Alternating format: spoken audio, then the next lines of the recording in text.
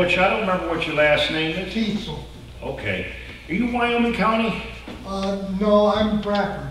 Bradford County? Yeah. Okay, Butch is a friend of uh, Barb's over here, but we met him uh, at the church picnic and uh, at Barb's birthday party, actually. And so it's a pleasure to have you here with us again today. Thank you. Yep. Glad to have everybody else here today. Hope you all had, uh, brought your winter coats. This morning, was about 6:30 and it there was the lightest mist in the air, but in the light, it looked like snow. Just mist. Well, let's see what we have here today. Sunday school is recessed till next Sunday. Choir rehearsal is recessed till next Sunday. And after ch- church, there is a covered dish dinner today. If you forgot about it and didn't bring something, please stay, you're more than welcome. There's more than enough to eat down there, it's always good, and uh, you're just more than welcome. Uh, Let's see here. Ladies' meeting to be announced. All right, great to have you all here today. Let's turn our hymnals to 256.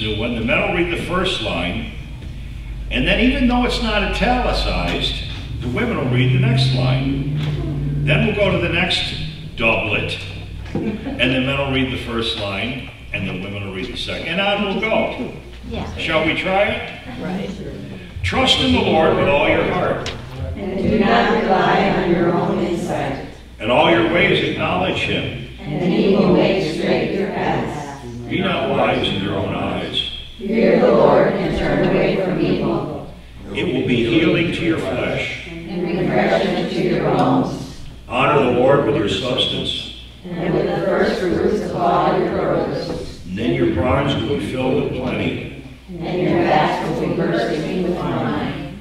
My son, do not despise the Lord's discipline, For be weary of his reproof. for the Lord reproves him whom he loves. And the Father, the Son, in whom he delights. Thank you, may be seated.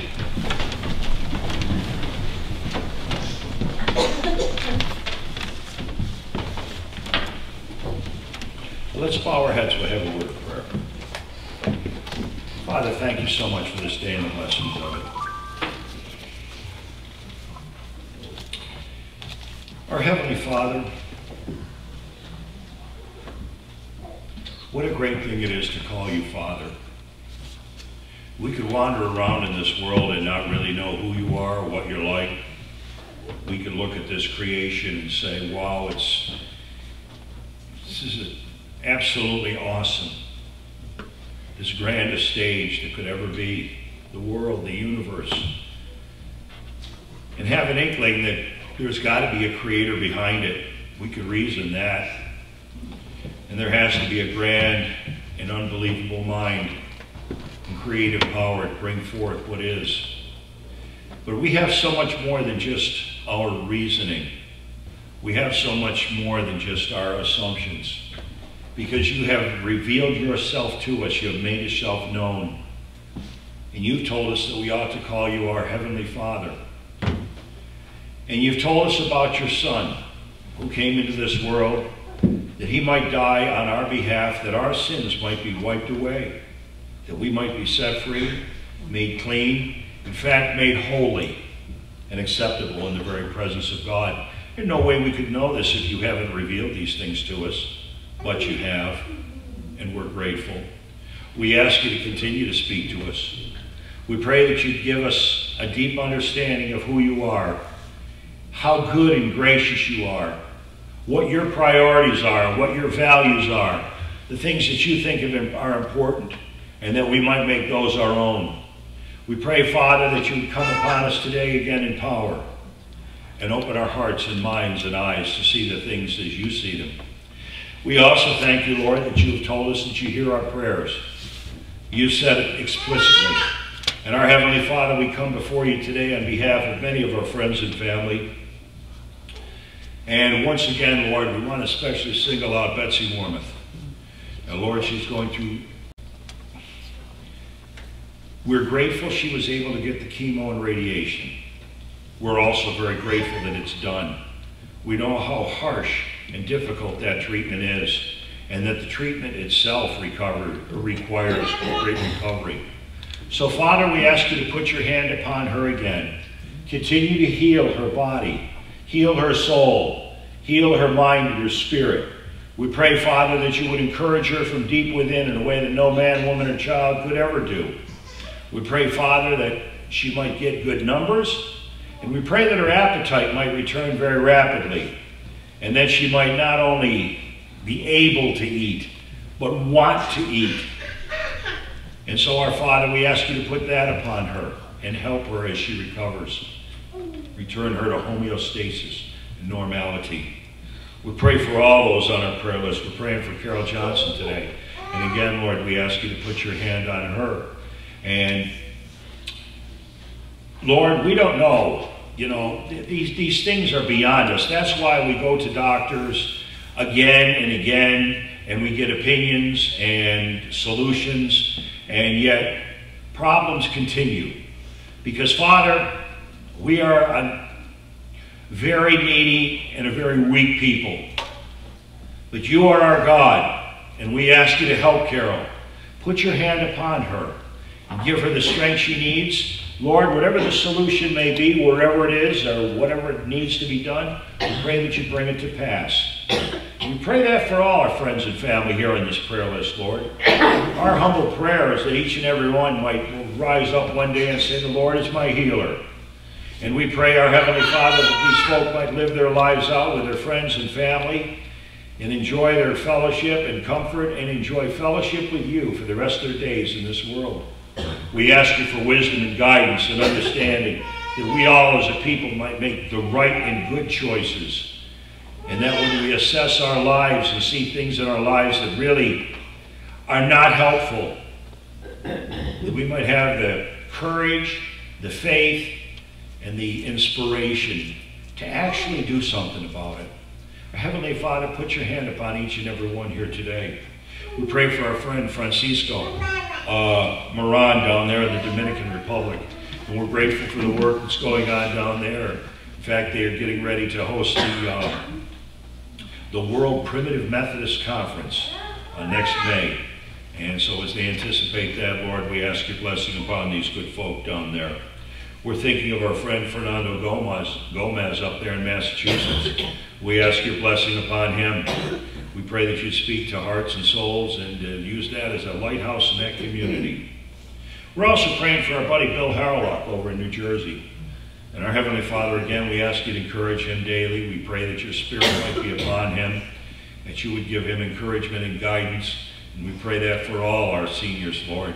Please help them in a very special way, and we'll be so grateful. Father, we can pray all day and be a worthy enterprise. This world needs great prayer. Uh, there are wars and rumors of wars, and uh, there really always have been. We don't always know about them. They don't catch the interest of the right people. But we understand certain things are going on now. We pray, Father, first and foremost, for the peace of Israel. We pray that you put your hand upon these people. They've suffered double for their sin. And our Heavenly Father, uh, they're us.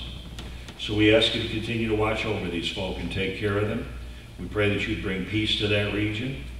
We pray that you'd raise up people who are able to do that kind of negotiation and bring that kind of civility.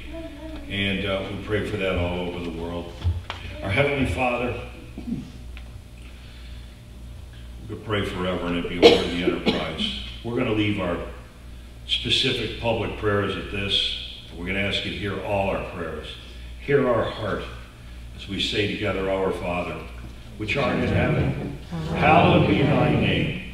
Thy kingdom come, thy will be done, on earth as it is in heaven. Give us this day our daily bread, and forgive us our trespasses, as we forgive those who trespass against us. Lead us not into temptation, but deliver us from evil. For thine is the kingdom, the power, and the glory forever. Amen. Okay, folks. You can follow along by turning your bulletin over and looking where it says at the top of the page, uh, do not lay up treasures, do not lay up for yourselves treasures on earth. We continue our study in the Sermon on the Mount.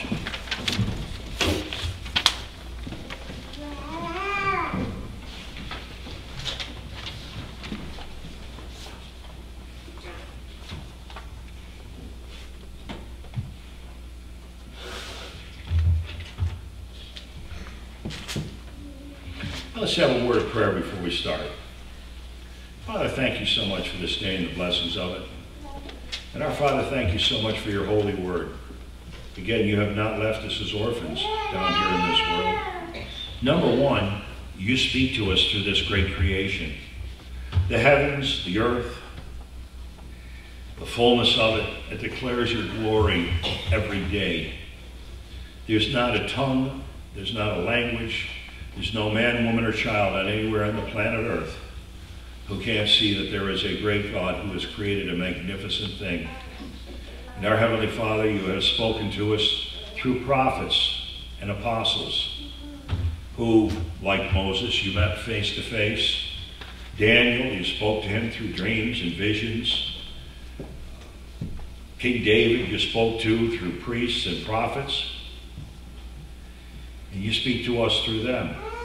And the apostles have carried the message of the crucified and risen Christ to the far ends of the earth, and they gave their life to do it. We have your holy word written now in Scripture. For the things that have been recorded and preserved are all instructive, they're all worthy of guidance, they're all worthy of our attention. They show us, they pave the way for us to walk into eternity with you. And certainly not least, you have poured out your Holy Spirit upon all flesh, as many as call upon the name of the Lord our God. And so, our Father, we're not orphans down here at all, but we have your absolute presence dwelling in our souls. We have your words written before us. We have your people sitting around us. Please come and speak to us, and we'll be grateful forever in Jesus' name. Amen.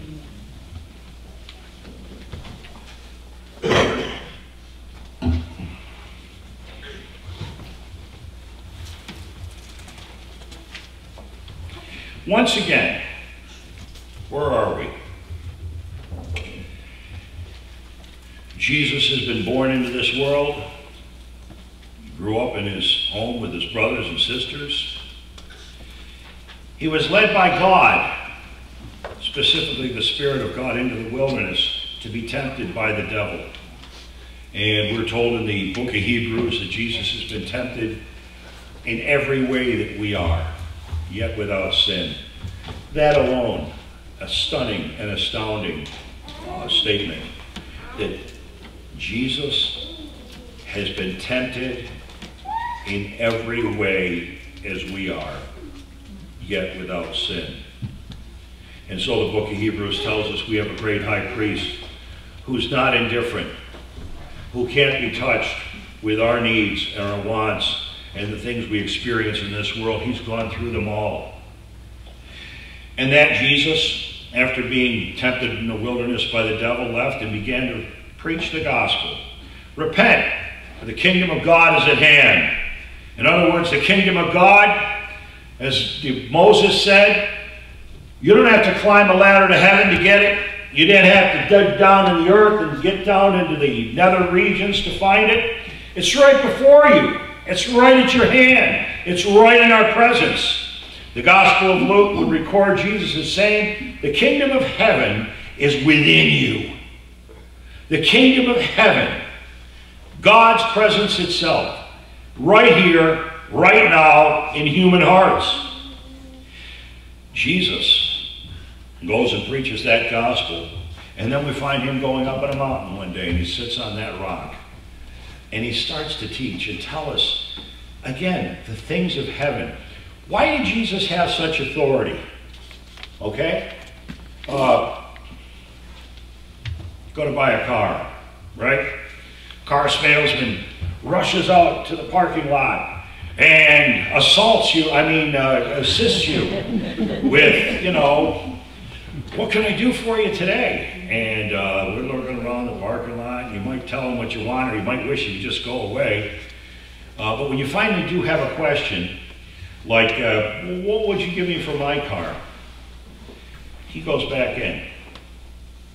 And he talks to the manager, or he talks to the mechanics crew, and somebody else comes out, and they assess the vehicle, and then they go back to him, and then he comes back and says, okay, you know, here's what I'll do for you. He can't tell you what he'll do for you. And then when he comes out with a, okay, you know, you want this car, we're going to sell you this car, here's the plan, uh, here's what's going to cost you, here's what to give you for your car, here's what we'll sell this car for, here's what title, taxes, and all those other wonderful things, here's what they're going to cost you. And then you say, you do any better than that? I mean, can we come a little lower on that car, or can you give me a little more on mine? Uh, that's, you're squeezing it there. What can you do? And he has to go back and talk to the manager because he does not have authority. Get this. Jesus comes down from heaven to teach us, to lead us, to guide us, to save us.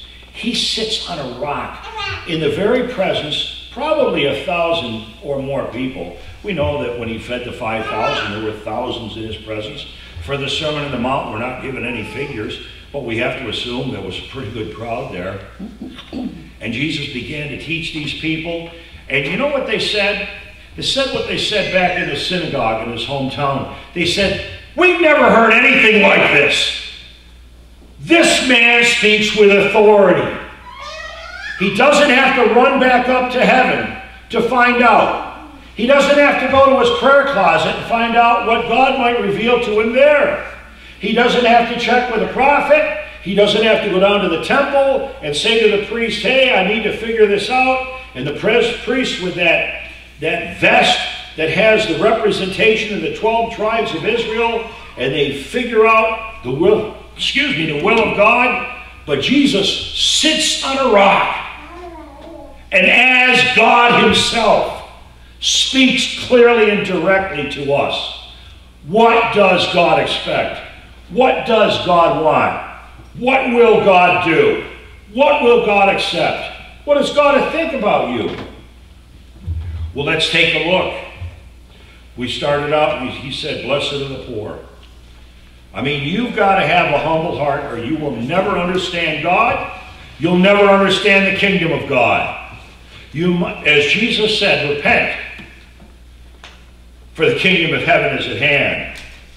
Repent means you got to change your mind. You got to change your attitude. You got to change the way you think. You can't just lock yourself into the source of this world's power the spirit of this world, the spirit of this world, we've been told from the first page of the Bible, is corrupt, is disjointed, is separated from the will of God. It has a, uh, an error in it. You ever get an error message on your computer? An error message on your TV? It's lovely, isn't it? Uh, error and it's got a number on it. And so you call up if you have the stomach to do it. Uh, you call up for help. And the Indian voice comes over the line. and you wish you could interpret tongues, but you can't. And you say, could you please speak up? And then they speak up, but they still have that second language thing and they walk you through and tell you what you need to do. And once in a blue moon it works. But most often, you're going to be on the phone for two or three hours. You may or may not get a solution. And at the end of it, the solution probably is, oh, well, this computer shot. Uh, I guess I got to get another one. Okay? An error message. There's an error in the human race that's why we don't honor God. That's why we think that we don't want to surrender our independence.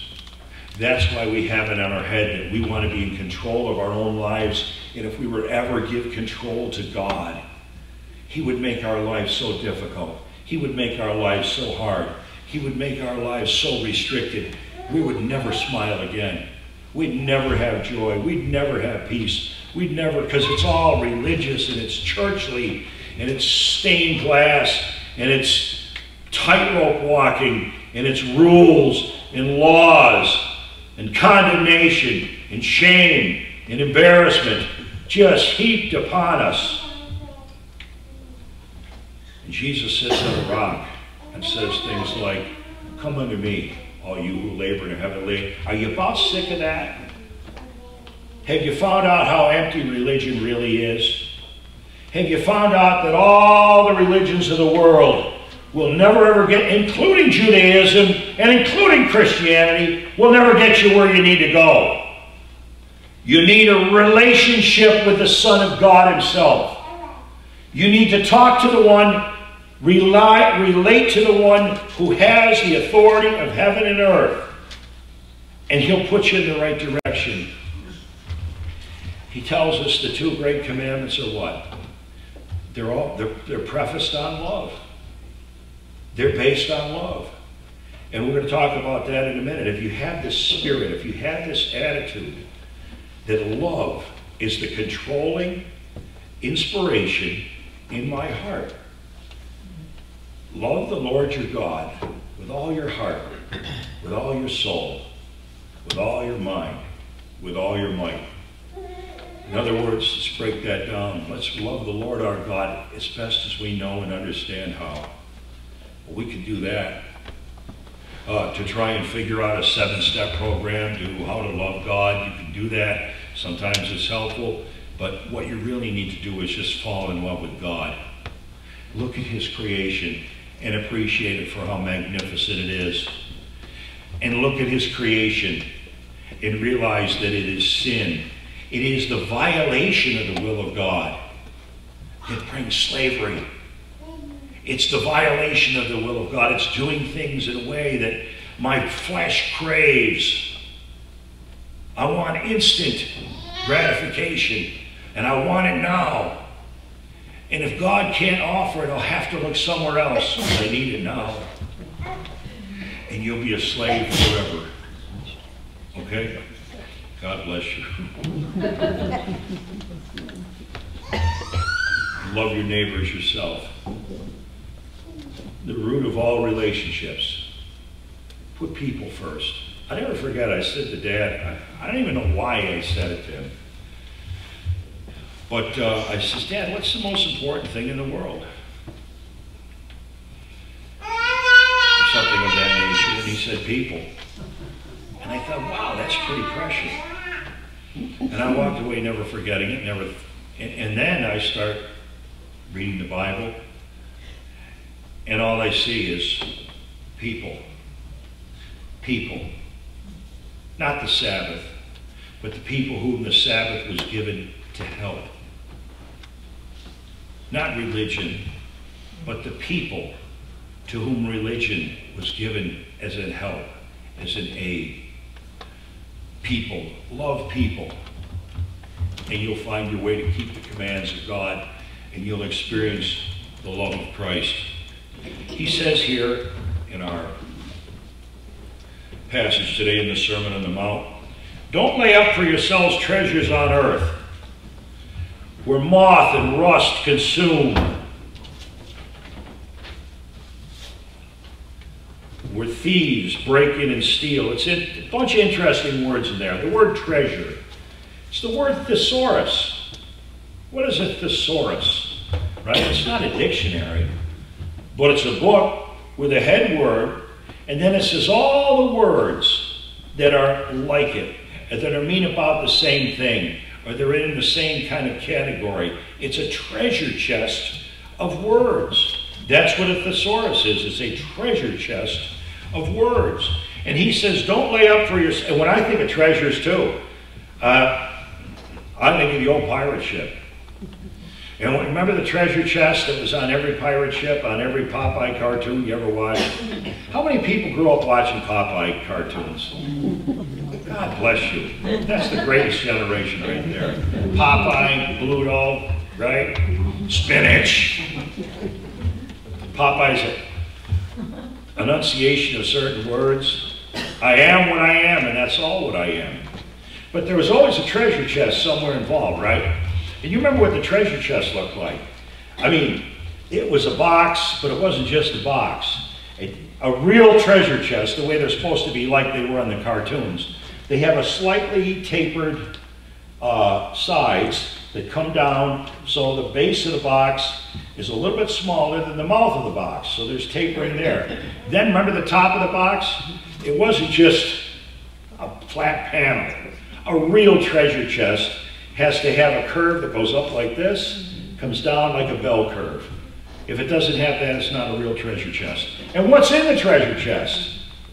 Remember, there used to be like gold doubloons, and there was jewels and pearls and things on chains that would have to hang out the side because there was so much good stuff in there. That's a human treasure chest. God says, you get yourself a treasure chest full of heavenly things. Don't lay up yourselves treasures on earth where moth and rust can consume and where thieves break in and steal. That idea of breaking into steal, you know what the Greek says? Where thieves can dig through and steal. Because the idea is in ancient days, a house, they were made of mud and brick. They were made of stone, mud, brick, and wood. And so the thief, he's not going to come through the front door. He's going around the back of the house and he's just going to dig through the side of the house. Dig through the wall. That's how he gets in. That's how he steals. The things of this world are all subject to decay. They're subject to wear. They're subject to tear. Moths. Remember they used to have those moth balls? Yeah. Grandma's house, I don't know if you, if you, were you allowed to have them at a regular house? They had to be at Grandma's house, I think. Um, a regular house, we weren't, didn't have any mothballs around. They were fun to smell. I don't remember what the chemical was. But they were an interesting aroma that, you know, you didn't ordinarily have. Rumor had it that those mothballs would keep moths away from the wool clothing. Because if you didn't have the mothballs, all of a sudden you'd go to put your winter coat on and it would look like Swiss cheese. so you need mothballs. Because the things of this world, they all perish. Buddy John over here, John Lutz, asks me every week, how's that Lincoln? He knows how much I love that Lincoln. Uh, MKZ, how's that Lincoln? I know you wanted one. I told you I wanted one since I was a kid, wanted a Lincoln. How's that Lincoln? Well, transfer case is full of paste. It's not fluid anymore, it turned to paste. And the bearing in the front makes a horrible noise. So the whole thing makes sort of a grinding, scraping noise so that Beth says, I can hear you coming down Jefferson Avenue. yeah, the Lincoln's no more. They wore out you know everything you have is ultimately going to wear out no matter how important it is or how special it is to you. You got a special shotgun, right? Somebody gave it to you. You put it up on your shelf. You better keep taking care of it. You better keep oiling it. You better clean it regularly even if you don't use it. Because sooner or later that thing's going to turn to rust. And it's not going to be a treasure and your grandkid is going to pick that doggone thing up one day and say, what a piece of junk this is, and he's going to throw it away. And when you got that thing, it was the greatest thing you'd ever have. But it's of no valuable now, value now. And then your clothes. Clothes you wore when you were in high school that they were the coolest thing you could have. And now, thankfully, for fashion reasons, we don't wear those things anymore. I wasn't going to say that, but that's where we're headed. I, that's what I love about this necktie. I got this doggone thing like 20 years ago, and it still fits. So, what? One more time. A little shorter. A little Big short. Bigger. And That's how true. My grandmother, my grandmother was four foot ten when I was a kid. When she was done, she was four foot eight. I used to be five foot eleven. Now when I take, what do you mean shaking your head? yes, I did. I was five eleven plus.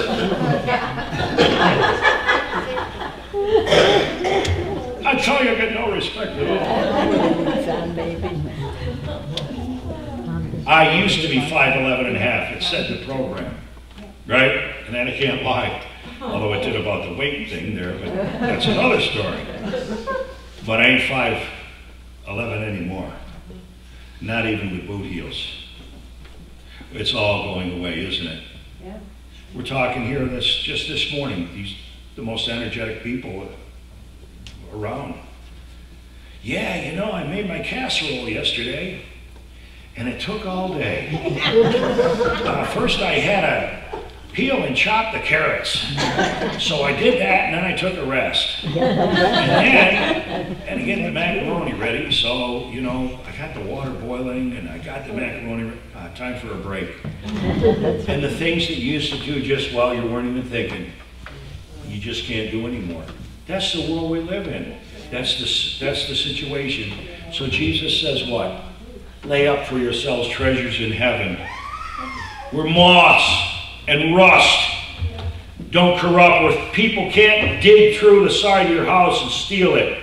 Lay up for yourselves that treasure chest in heaven, where neither moth nor rust consumes, where thieves don't break in and steal. For where your treasure is, that's where your heart is going to be also. Once again, Jesus speaks from the heart, about the heart all the time. Real religion, not systematic religion where you learn a bunch of rules, you learn a bunch of regulations, where when I was a kid, the nun stood by with a long hat pin to make sure you did the things the way you were supposed to do them. And that's religion. Or back in the day down here, right, where,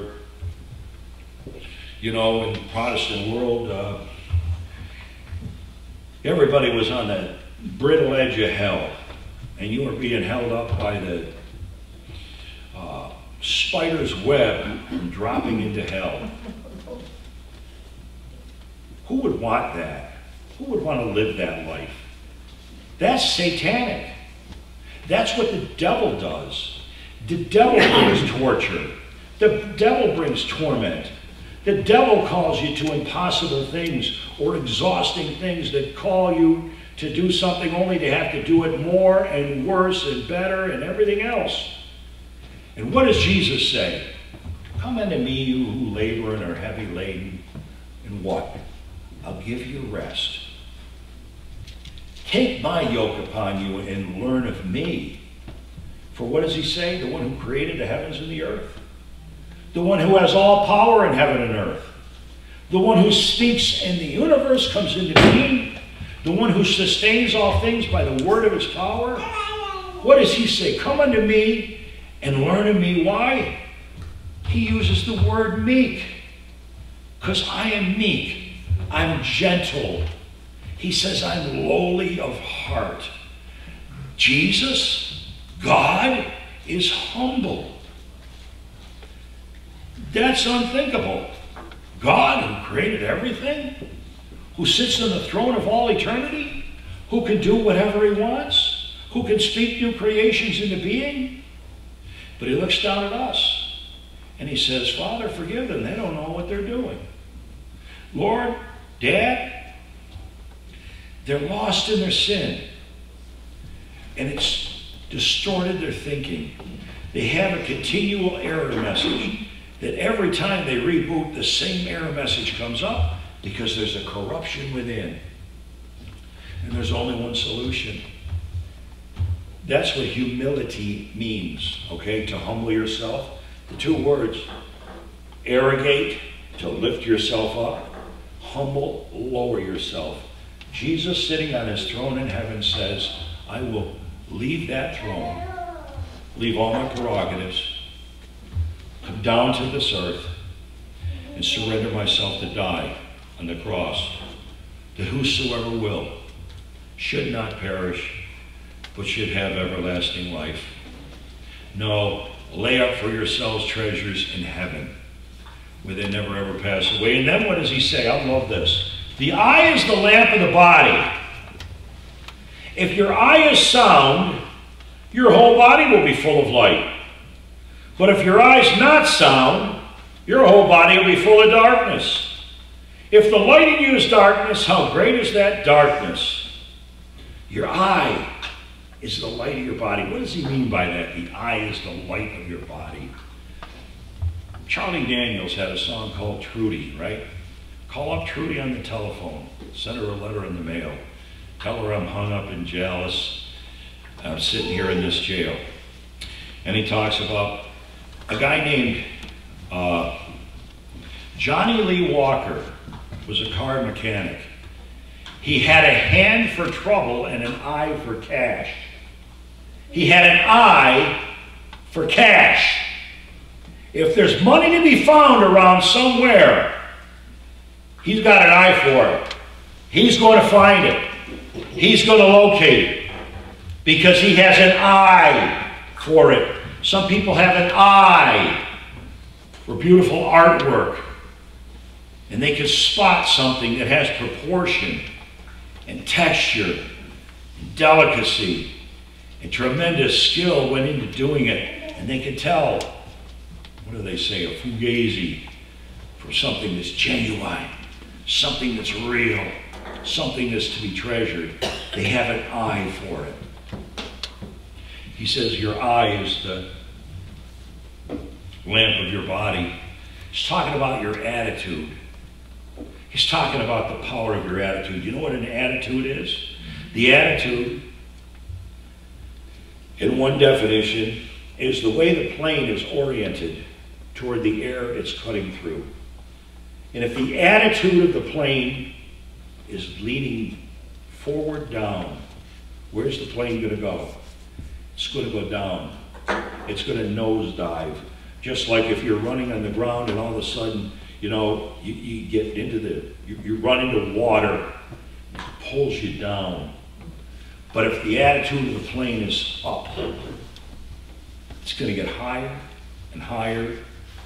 That's what an attitude does. It decides where you're going to end up. It decides where you're going to go. That's why the I, your attitude, is so important. If you have a negative attitude, if you have an eye for negativity, if you have an eye, as Jesus is going to say, judge not that you be not judged. For the, with the judgment you pronounce, you'll be judged. And the measure you give will be the measure you get. What does he say? Why do you see, why do you see the speck that's in your brother's eye? Why do you see with your eye the speck that's in his eye, but you're not aware of that beam that's in your eye? Of that large log. You know, I was just talking, it's interesting. I had a funeral, two funerals in the last couple of days. Well, one of them was a gravesite. It was the Balmer family. They used to come here. I baptized Candace Marie Balmer. And at the funeral yesterday, the Balmers were there. And they says, yeah, we used to go to your church. They had moved away. Now they moved back in the area, not near here. But she said, we were going to the church when you were meeting in the basement because the ceiling had collapsed. You remember that? There's four great big wooden beams. And they're back in the days when a two by four was really a two and a half by a four and a half, not a three and a half by one and a half. And these beams, I don't know what their dimensions are, but I mean, they're a major league logs that squared away. And they're up in the rafters. There's four of them. And we were here in church one Sunday, and it was 10.30, and Sue had just sang. Remember that? And I said, you know what? And it was great. I said, you know what? Uh, we don't even need a sermon today. That song Sue sang is satisfactory. We might as well go home. Not five minutes later. And you can hear it on the, on the we used to record the service on cassette tape. You can hear Audrey in the back saying, it's going across the whole church because a crack started up here in the ceiling and it started going across the church. Yeah, it did. And they came and they, when we sent everybody home, I thought, okay, I guess we're done for the day. Mm. Thanks, Sue, you brought the house down. it wasn't my sermon, it was Sue's song. And so anyways, the architects came and what did they find? They looked at those beams and they found one of those big beams just from the expansion and contraction, loading the over 100 years, loading the roof with snow and unloading the snow. One of those beams had finally just cracked and it was broken off completely, not, e not even connected. And the other one was so fractured you could stick your hand in it. And so the architects came and they looked at those great big beams and they said, we're going to have to jack the whole thing up. They jacked from the basement up to this floor and from this floor up there, jacked the beams back in place and they put big steel plates on those beams and bolted them back together. Jesus said, how come you can how come you can see a piece of sawdust in somebody else's eye? How, how powerful and familiar is that really? Isn't it real easy to see other people's shortcomings?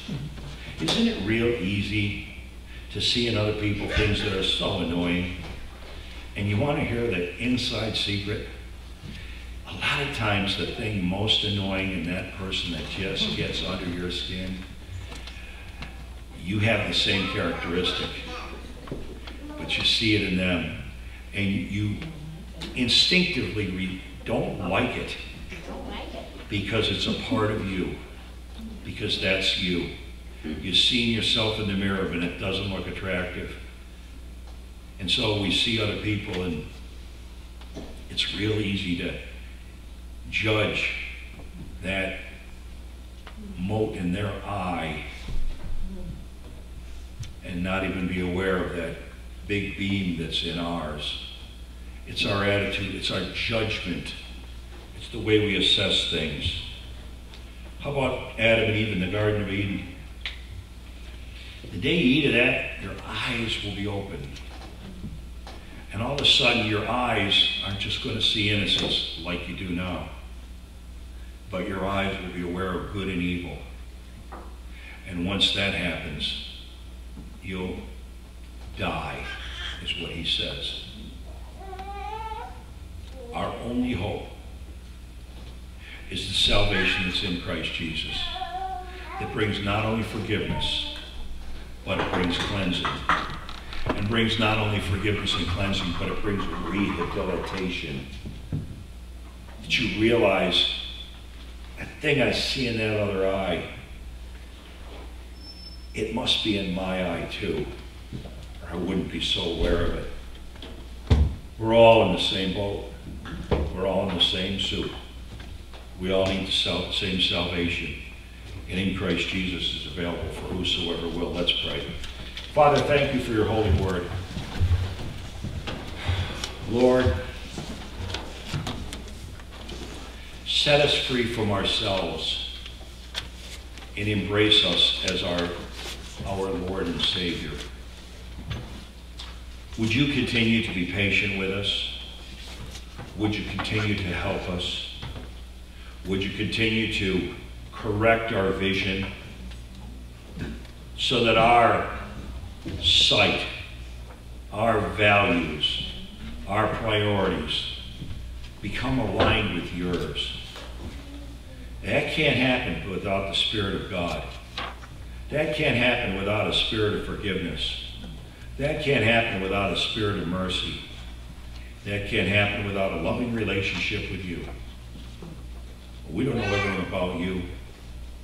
We see through a glass darkly. We know you love us. And we love you. And we ask you to help us. And your response is, that's great. That's what I want. Now here's how you perfect that love. You love the people that are sitting around you. Love the people that think differently than you. Love the people that look differently from you. Love the people that you're suspicious of and, and don't trust. Learn to love them. Uh, you don't have to partner with them. You don't have to throw in with their plots and plans. But you need to learn to love the people that are around you. Or you'll never see the kingdom of God. And you'll never grow in grace. Would you speak to us about these things in Jesus' name? Amen. All right, folks. Here's what let's do. Let's turn in our hymnals to 463.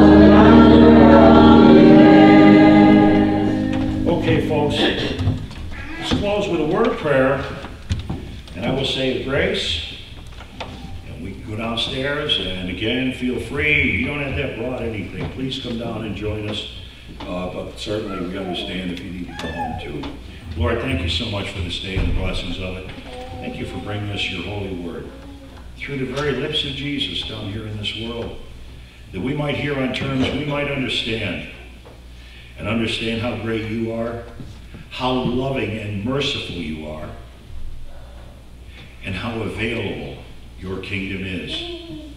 Our Heavenly Father, would you speak to us about all these things? And our Heavenly Father, we also thank you for those who prepared the food we enjoy downstairs. We pray that these things might be useful for bringing strength, health, and great fellowship. And we'll walk, excuse me, walk together with you here in this world. It's in Jesus' name we pray. Amen.